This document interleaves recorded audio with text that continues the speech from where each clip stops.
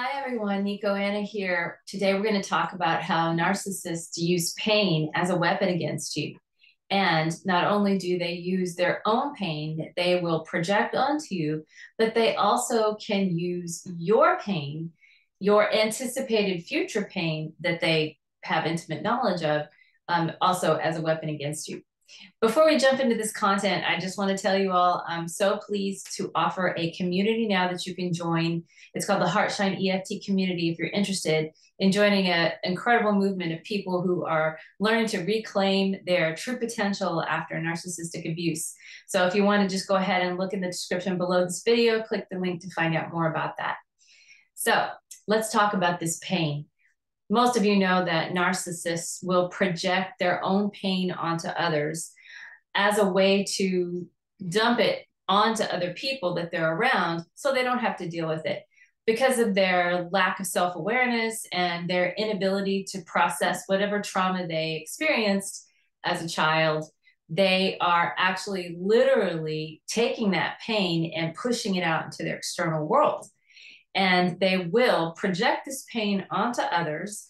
And if we grew up with narcissists, or maybe we just in a pattern where this is something that we're susceptible to in adulthood, we will take that pain on as our own and we'll take responsibility for it and therefore become an enabler to the narcissist. So not only will we be will we be carrying pain that's not ours, um, we'll also be in codependency with a narcissist. And this is not what we want, right?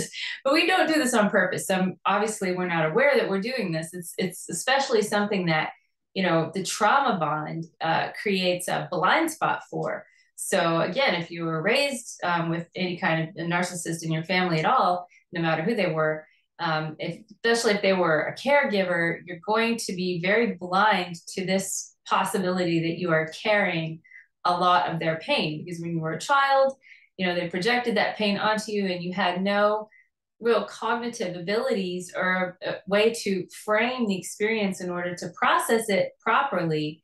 And so that you just um, absorbed it, you took it on, um, you created behaviors to make yourself feel safe. So let's just say, you know, you you're a child and you've got a parent that's projecting pain onto you that's telling you you know it's your fault that i that this didn't work out for me or look what you've done you've ruined my life. And that's just kind of some extreme examples but just to make it really clear for the example and then you know you take that on as a child and then you say wow i i, I caused my parent this much pain. I must be a bad person. You know i must i must be terrible. There must be something wrong with me. And so first of all, you're developing a what we call a core belief in clinical EFT. It's called a core belief. I'm a bad person. And not only will that follow you for the rest of your life and lay in your subconscious and lay out patterns of experiences for the rest of your life that reflect I'm a bad person, you will also create behaviors to try to compensate for this. So you will think, well, if I can just do something you know, to take this pain away from this parent, maybe then I'll be safe. Because that's what we're trying to do as child children. We're just trying to create safety and security in our environment. And if we depend on this narcissistic parent for that, then we're going to have coping mechanisms to try and get what we need because we're not getting what we need. We're not being supported.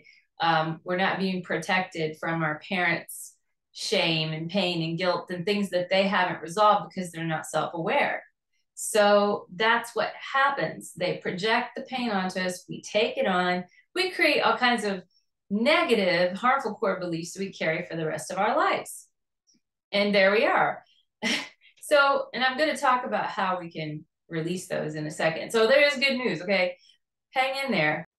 Another way that narcissists will use your own pain as a weapon against you is in an attempt, usually to create a, a uh, sense of guilt or shame on your part um, anytime maybe you were trying to set a boundary with them and they want to cross that boundary, and they might employ a tactic of, you know, possibly indicating that in the future you're going to feel some kind of pain because of this. You know, if you don't do what I say, or if you don't, you know, uh, respond to my request, or if, if you don't allow me to manipulate and control you, then this will be the consequence. So they may suggest something like, you know, that something terrible could happen to them and then you're going to feel bad right? They're going to to create a future possible scenario in which you would you would feel bad. So they're taking your pain it's almost like abuse by proxy if you've heard of that before. They're taking your possible future pain and using it as a way to abuse you by by actually projecting you into that future and causing you to imagine it. So if someone was to say to you you know oh well what if uh, what if something terrible happened to me you know? And then how would you feel about that? And then of course you're going to have feelings about it. You're probably going to feel guilty. You're going to feel terrible. And so the whole interaction is designed to get you to capitulate.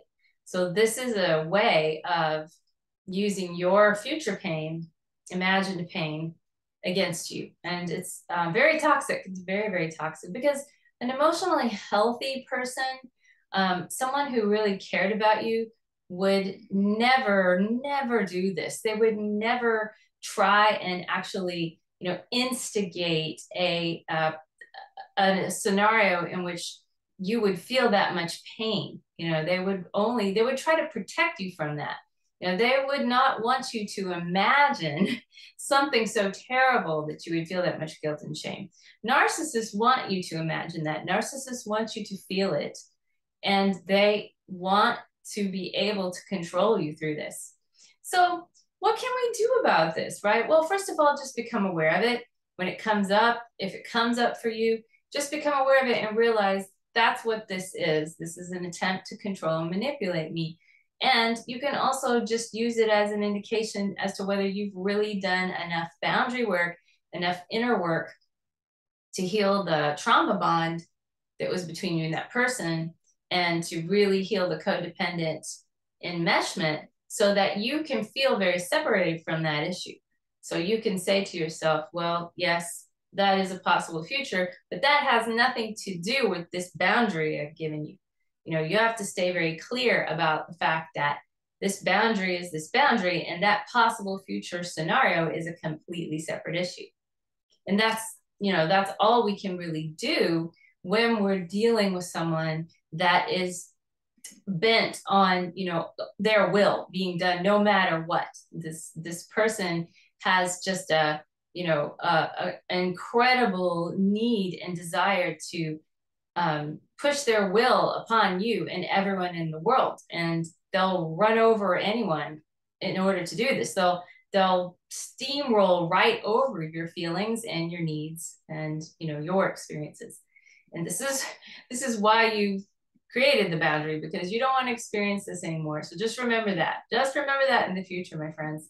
So what can you do what can you do when you're in this you know kind of scenario where you're having pain is being projected onto you and you know you you're you're giving into it. You know you're feeling the pain you're feeling the guilt you're feeling the shame.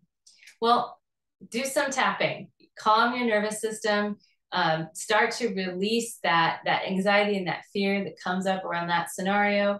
Uh, start to do that daily self-care so you can keep your brain coherent so that you can stay in a coherent state and you can stay rational and stay clear. And when you're presented with things that trigger you, there's a space that happens between the thing that triggers you and then your response to it. And then you can get in that space and you can feel safe and you can take your time and you can use your your frontal cortex, the frontal part of your brain in order to, you know, problem solve and create solutions and be creative and instead of reacting from the amygdala, the primal brain that's responding to threat, like this is a threat and I have to fight, flight, freeze, um, or the other two, which is fawn. And then there's another one, I think, too, as well.